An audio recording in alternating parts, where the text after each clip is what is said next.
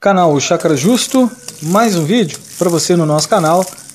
Hoje mostrando para você acompanhar aqui esse carneiro, é, um sistema aí automático para mandar água aí para a caixa d'água, alimenta várias caixas d'água lá em cima e, e, é um sistema muito bom de estar utilizando, porque com esse sistema aí você não, não gasta energia, né? você não precisa estar utilizando bombas de água, ele faz tudo automaticamente, é, através da água que desce com um pouquinho de pressão, faz ele funcionar e ele consegue mandar água aí para vários metros aí de altura. Então é, consegue mandar água aí com uma distância muito boa, né? Não importa se tem morro, se tem reta, ele manda água aí bem longe.